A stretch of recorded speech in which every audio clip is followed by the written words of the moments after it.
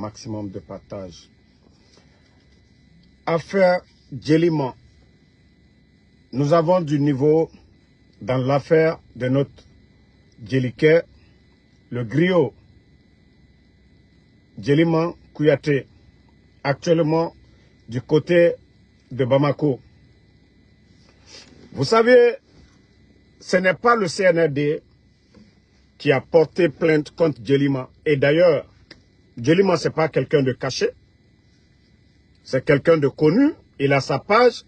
Ce qu'il fait dans son quotidien, tout est sur sa page. Donc, nous avons appris que c'est des inconnus qui ont porté plainte contre Djelima auprès de la gendarmerie.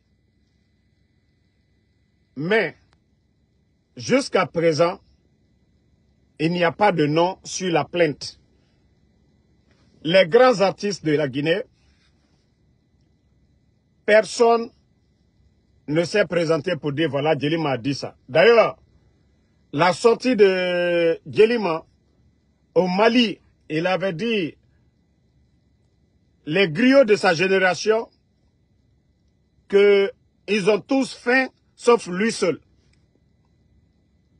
Ça, ça a quoi à voir avec l'État ou la gendarmerie Comment est-ce qu'on peut porter plainte contre quelqu'un pour ça? Comment on peut porter plainte contre quelqu'un? Parce que tout simplement, il aurait dit, les griots de ma génération, je suis le seul qui n'a pas fait. Il n'a pas dit les anciens, nanani, non. Donc, euh, ils ont vérifié la plainte, il n'y a personne. Voilà, on dit c'est X qui aurait porté plainte, qui aurait demandé à ce qu'on arrête, mais c'est eux qui veulent politiser. Sinon, Djelima n'a pas, n'a jamais attaqué le CNRD. Il a toujours dit, il soutient ses Djatigui, ceux qui font du bien pour lui. Il va toujours les soutenir. Voilà. Donc, euh, dans l'affaire de Djelima, c'est ce que nous avons appris. Voilà, la plainte contre Djelima. Ceux qui ont ordonné la gendarmerie de l'arrêter, ils ne veulent pas s'afficher eux, ils ne veulent pas s'afficher. Mais Dieu merci, Djelima est en vie, il est du côté de Bamako. Voilà, les gens sont en train de voir qui avait porté plainte. En principe, maintenant, c'est Djelima qui doit porter plainte contre celui qui, a, qui, a, qui allait à la gendarmerie pour porter plainte contre lui. C'est Djelima qui doit porter plainte contre l'inconnu parce qu'on ne peut pas aller voir les autorités pour dire il faut arrêter telle personne.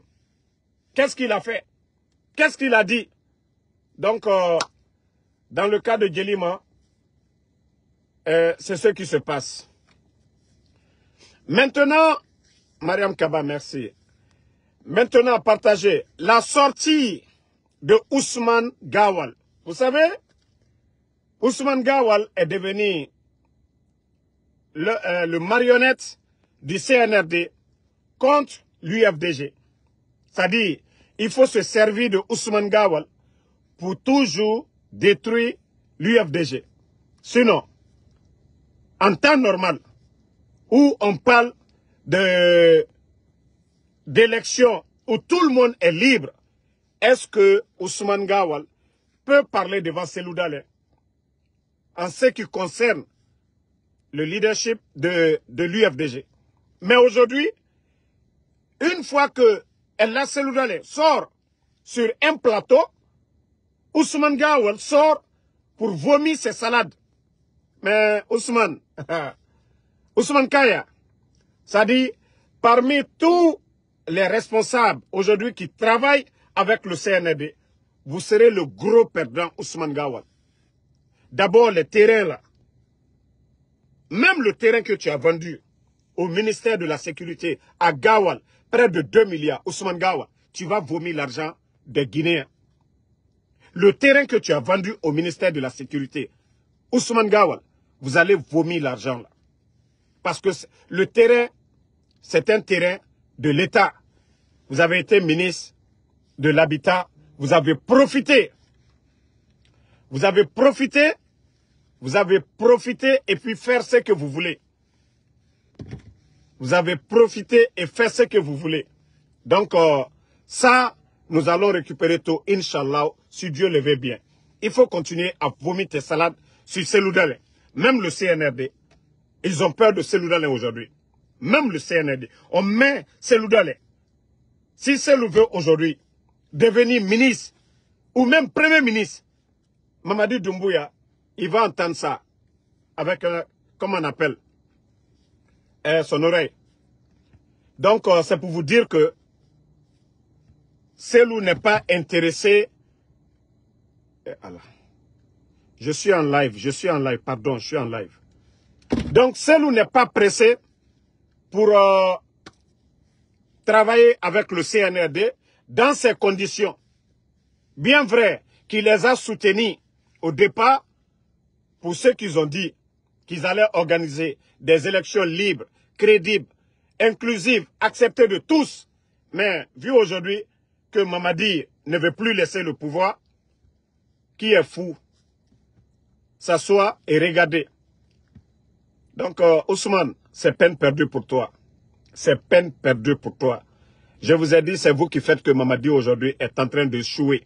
Parce que vous, vous êtes là juste pour chercher à vous venger à côté de Mamadi. Vous n'êtes pas là pour travailler dans l'intérêt général. Vous êtes tous là pour faire du mal aux autres. Mais continuez. C'est comme certains qui sont autour de Mamadi, qui ne veulent pas entendre parler d'Alpha Condé, qui ne veulent pas entendre parler de Sidia ou des autres. Mais c'est vous qui allez perdre. Parce que le pouvoir là, c'est le pouvoir du peuple. À un moment donné, le peuple en aura marre et vous allez voir les, les rues seront pris d'assaut. Ça, je vous le dis. Hein. Soyez convaincus de ça. La situation actuelle du pays, tous les Guinéens sont en train de pleurer. Même les fonctionnaires de l'État. Lorsque le ministre du Travail sort pour dire, voilà, ils vont améliorer les conditions de vie des, des travailleurs. D'abord, on ne peut même pas payer les fonctionnaires. On vous a parlé de recrutement ici. Je vous ai dit, c'était du tape à l'œil. Montrez-moi ces, gars-là qu'on a recrutés aujourd'hui. Montrez-moi. Ça dit jusqu'à présent, personne ne travaille. Ils sont venus, le, secrétaire, je crois c'est Bruno ou quoi là, il est venu se flanquer pour nous dire, voilà, ils ont recruté jusqu'à 10 000, 20 000 personnes. Où sont ces 20 000 personnes? Des gros menteurs. Les écoles publiques aujourd'hui sont vides. Il n'y a même pas d'enseignement. Et il n'y a pas d'enseignants plutôt. Dans des écoles publiques aujourd'hui, ils ont envoyé tout le monde, tout le monde à la retraite presque. Au lieu de remplacer les enseignants dans les écoles, aujourd'hui c'est la rentrée, les écoles publiques, c'est seulement dans les écoles privées. Là, les enseignants sont payés. Mais combien de familles aujourd'hui qui ont les moyens d'emmener leurs enfants dans les écoles publiques, euh, dans les écoles privées? Et si le ministre du Travail sort pour raconter des salades, chaque jour, les prix ne font que flamber sur le marché. Les fonctionnaires eux-mêmes, ils ont du mal aujourd'hui à aller au travail. Parce qu'ils n'ont pas d'argent. Ils n'ont pas d'argent. Au lieu de conseiller Mamadi Doumbouya, les gens ne veulent pas dire la vérité à Mamadi. Les anciens que vous êtes en train d'humilier, leur savoir-faire, leur expertise, dépassent ceux qui sont à côté. Ceux qui sont là aujourd'hui, ils ont compris. Il ne s'agit pas d'occuper les postes ministériels ou d'être, vous êtes directeur. Il y a un savoir-faire. Ceux qui étaient là avant, ils ne sont pas venus comme ça tomber du ciel pour dire voilà où ils étaient assis comme vous, flanqués en Occident, ceux qui ne voulaient rien faire. Aujourd'hui, vous êtes là-bas. Qu'est-ce que vous avez créé? Quel changement? Trois ans de transition, pas de sanctions sur la Guinée. Qu'est-ce que vous avez pu faire? On nous a dit le coup d'État. Oui, euh, on nous a dit le coup d'État, c'était pour euh, aider la Guinée. Il n'y avait pas de démocratie. Mais la situation du pays, et la cellule a été opposée au président Alpha avant le coup d'État. Mais où est la cellule aujourd'hui? Où est, c'est-à-dire l'opposant principal du président Condé, c'est Seloudalé. Quelle est la situation du président de l'UFDG aujourd'hui après le coup d'État? Mamadi a changé quoi? La sécurité dans le pays. Est-ce que la situation du pays actuellement, avant le coup d'État et maintenant, c'est pareil? Famille, il faut qu'on se dise la vérité. La transition a échoué. Nous devons tous aider Mamadi à sortir pour que ce pays-là avance. Les démagogues, pardonnez, aidez même Mamadi à sortir par la, grande porte. La Guinée est malade aujourd'hui. Notre pays, aujourd'hui, rien ne va. Les démagogues qui parlent, ils ont été à l'intérieur cette fois-ci. là. Je vous dis, ces gars-là font semblant. Hein? Je vous dis, ces gars-là font semblant. Une fois que, une fois qu'ils sortent, une fois que ces gens-là euh, sortent, ils vont à l'intérieur du pays. Actuellement, certains sont du côté de d'Alaba. Ils ont vu la réalité, l'état des routes. Combien de fois ils ont été fatigués avec l'état des routes. Et vous allez venir tromper qui? Vous allez venir attirer qui? Qui? Qui va venir en Guinée où il n'y a pas de route? Au début, la première année du CNRD, est-ce qu'il y avait un problème de route? Non. Parce qu'ils sont venus mettre la pression sur les Chinois. Ils ont dit, oh non, eux ils sont venus, ils ont fait du sérieux. Maintenant, où est le résultat? Une saison pluvieuse seulement, tout est gâté. Des milliards sont partis. Vous pensez que c'est la démagogie qui construit un pays? La première année, vous, avez, vous êtes sorti ici. Oh, Mamadi a fait 2000 km de route. Mais où, est, où sont ces 2000 km de route? Mais pourtant, pendant les 11 ans du régime d'Alpha Condé, la situation actuelle du pays, nos routes là, n'étaient pas comme ça. Tous les Guinéens peuvent témoigner. Mais vous, vous êtes venus. Le pays est en chantier. Au lieu de respecter les normes, non, vous venez tout accélérer. Maintenant, voici ça. Je vous ai dit, la démagogie ne peut pas construire ce pays. Tant que Mamadi ne respecte pas Alpha Condé, il n'aura pas de baraka dans son pouvoir. Tant que Mamadi ne respecte pas Selou, il n'aura pas de baraka dans son pouvoir. Tant que Mamadi ne respecte pas Sidia, il n'aura pas de baraka dans son pouvoir. En quelque sorte, il doit son pouvoir à Alpha Condé. Si les forces spéciales n'étaient pas là, lui, il était qui? Lui, il était qui? Si ce n'était pas aussi les opposants, et la Sidi Touré, pour légitimer son pouvoir, est-ce qu'il serait là euh, aujourd'hui? Aussi. Mais regarde, son bienfaiteur, Alpha Condé, et la ceux qui l'ont soutenu malgré tout, boum! Quelle est leur situation aujourd'hui? Vous pensez que la vie, là, Dieu, Dieu aime l'injustice? Vous pensez que Allah subhanahu wa ta'ala aime les ingrats? Non! Mamadi, il est baraka soro.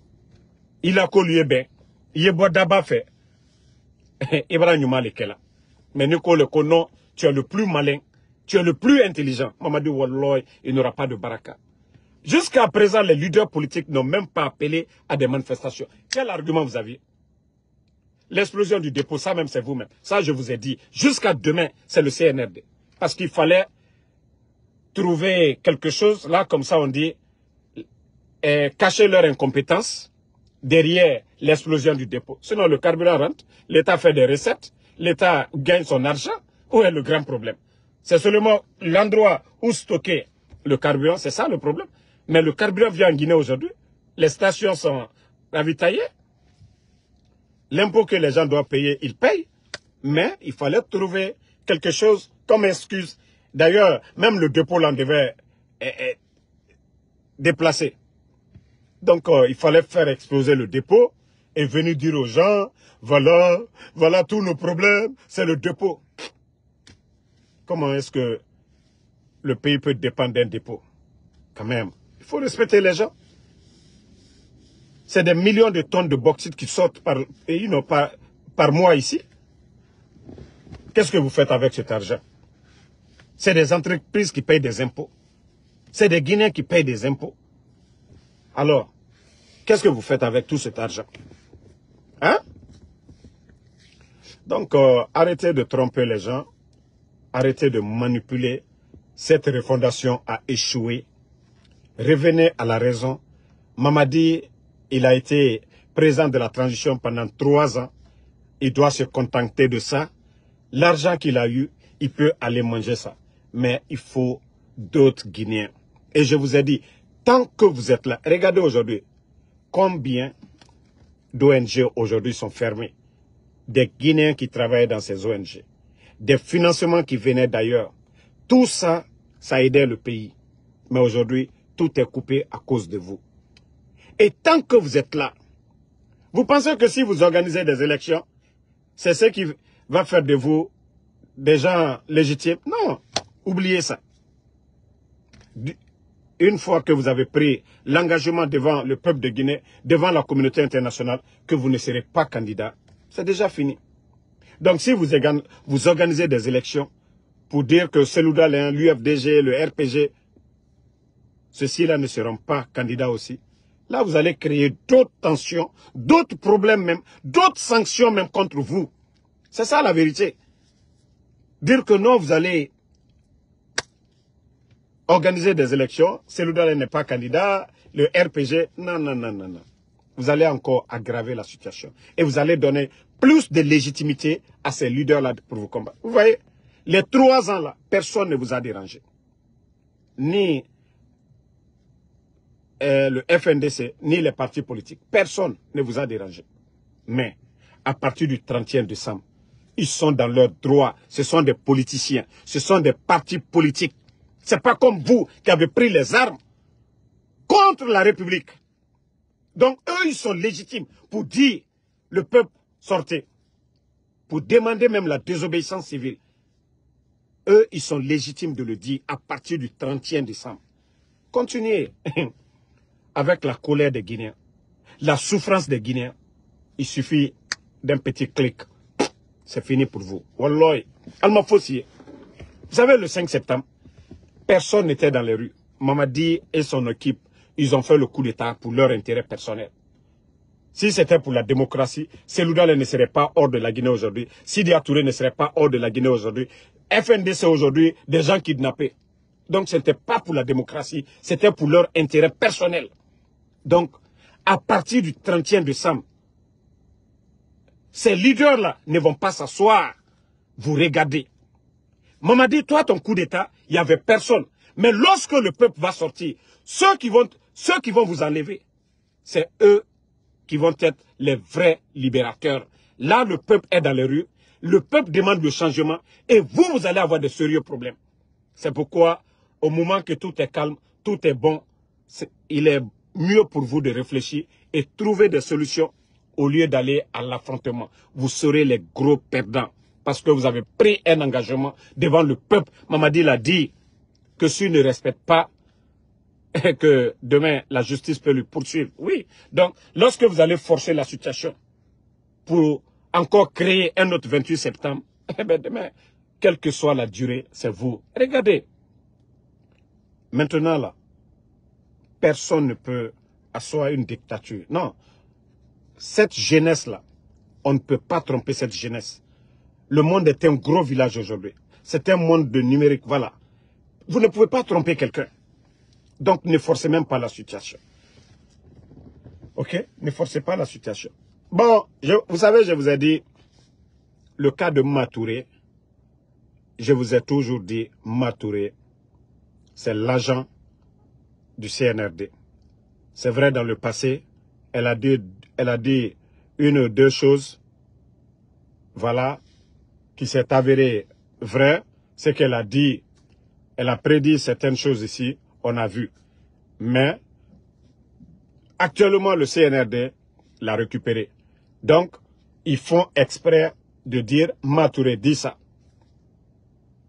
Dire que Matouré vient s'asseoir devant les gens insulter notre intelligence, qu'elle, elle parle avec les anges. Elle nous, elle nous prend pour des fous ou quoi? Elle, elle, nous prend pour des fous? Si elle, elle parle aux anges, tout ce qui arrive au pays aujourd'hui, tous ces feux et autres là, pourquoi elle ne dit pas au CNRD, voilà, euh, il faut éviter ça, il faut faire ça. Je vous ai dit, mon travail, c'est préparer vos esprits pour dire, vous savez, c'est bientôt la fin de la transition. Donc, euh, il faut préparer les esprits que voilà, il y a un coup d'État contre Mamadi Doumbouya. Donc, euh, voilà, ils vont commencer à arrêter les militaires. Déjà, Matouré vous a dit, voilà, il leur attend l'esprit est préparé. Donc, eux, ils sont libres pour arrêter des militaires innocents comme ça. C'est-à-dire, toute personne dont ils voient qui peuvent les déranger en cas de violation de leur engagement à partir du 31 décembre. Donc, il faut déjà commencer à neutraliser toutes ces personnes. Et Matouré travaille avec le CNRD. J'ai dit, elle n'a rien. C'est pouvoir yomu Matouré yira.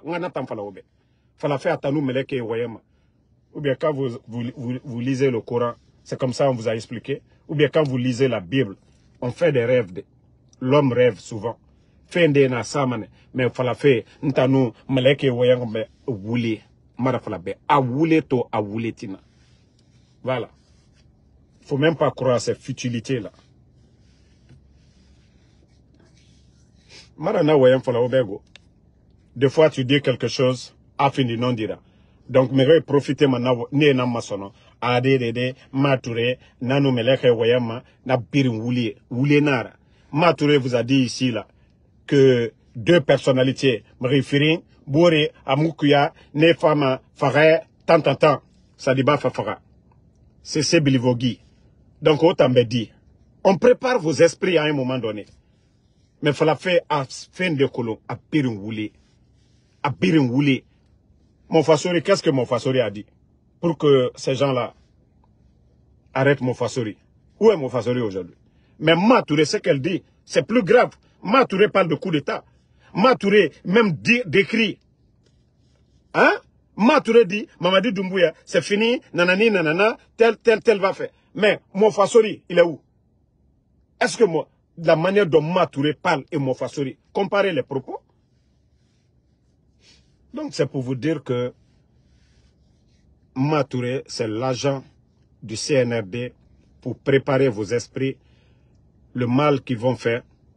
Et femme amere faradé, et femme sori nere faradé.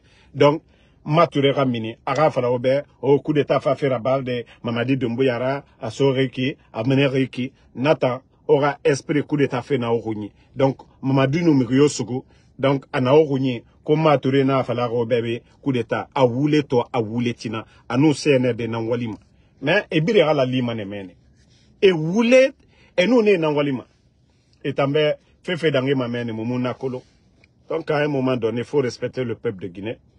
Au la Guinée est binja au bas arrêtez de soutenir. On a vous avez dit que oui vous voulez le changement mais lorsqu'on change le gouvernement précédent, vous devez faire mieux que ces gens-là. Le gouvernement d'Alpha Condé n'a pas fermé les médias. Le gouvernement d'Alpha Condé n'a pas chassé Seloudalé. Le gouvernement du président Alpha Condé n'a pas chassé eh, Sidia. Le gouvernement du président Alpha Condé n'a pas fait disparaître ces gens-là, eh, Fonike malgré leurs critiques, leur opposition farouche face au gouvernement. Pourtant, on nous disait qu'il n'y avait pas de démocratie. Donc, c'est ça la démocratie. Kidnapper des activistes comme les Fonike et Bilo, et des activistes comme euh, LCC, des, des militaires faire disparaître les gens comme les Sadiba, les CC Bilivogui, les Cheikh Souma et tant d'autres. Aujourd'hui, pousser les politiciens à l'exil. Combien de politiciens aujourd'hui sont en exil? Plusieurs politiciens sont en exil. Donc, il euh, n'y a pas eu de changement. Si vous voyez qu'on insiste, ceux qui disent qu'on n'aime pas la Guinée, mais est-ce que vous, vous aimez la Guinée?